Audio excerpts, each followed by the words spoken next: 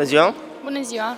Care sunt uh, planurile pentru proiectul Octopus uh, Garden? Uh, planurile noastre, în primul rând, sunt să vindem. Uh, dorim să, să dăm toate apartamentele, avem uh, un interval de 2 ani în care uh, noi credem că o să, o să vindem absolut tot.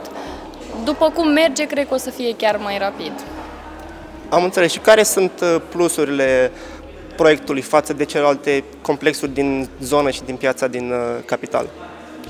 Uh, principalul actual proiectul este că este foarte bine construit. Um, dezvoltatorul chiar și-a dat interesul, având acolo mai multe apartamente achiziționate și chiar locuiește în proiect, și, și proiectul este uh, foarte, foarte bine construit, chiar uh, l-au dezvoltat astfel încât să reziste la un cutremur de 9 grade.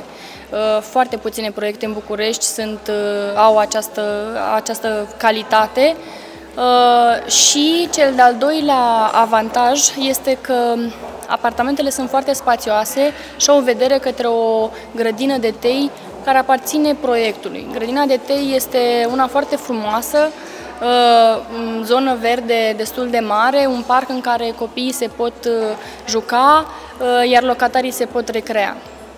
Care sunt uh, prețurile acestor apartamente și câte mai sunt disponibile? Sunt 48 de apartamente disponibile, cam 30% din proiect este disponibil. Asta înseamnă că 70% este vândut. Ca și preț, fiind, fiind vorba de apartamente cu terase generoase, um, prețurile sunt un pic mai sus decât, uh, decât prețurile de zonă, dar asta și pentru că, datorită proiectului foarte bine construit, datorită spațiilor generoase.